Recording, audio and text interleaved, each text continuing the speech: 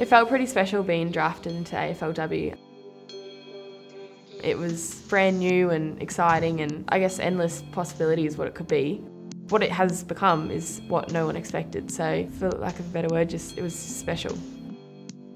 I appreciate the traineeship because I have started to appreciate footy more and how it all comes together and the people that put a lot of effort in behind the scenes.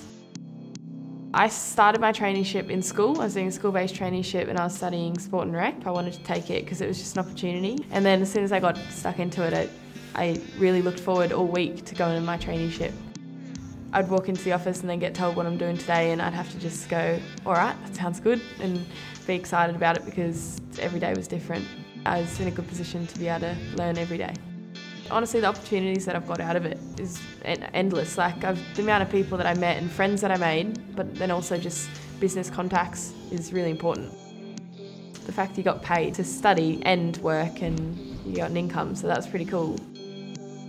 After my traineeship, I was offered a position at AFL Queensland in head office full time. I was working in the female football space my favourite part was going out to schools and coaching these kids how to play footy. That, yeah, it was heaps of fun. I enjoyed it. I think it's grown all over Australia. No one knew what it was going to be like. None of us players knew that it was going to be that big. The support that we got from the AFL and the fans and the clubs was amazing. So I think we're all still taken back. I think some of the skills that I learnt from the traineeship and now that I'm in a high performance environment helped the fact that I started the traineeship and then got a full-time job. It's given me so many opportunities and yeah, I had a really good time.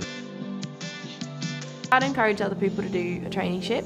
Yeah, studying has given me heaps of skills that I wouldn't have had otherwise. I honestly felt like they were my friends and I could just call them and support I had from SportsReady was, was awesome and second to none. I'm Tayla Harris and VET has provided me with so many opportunities.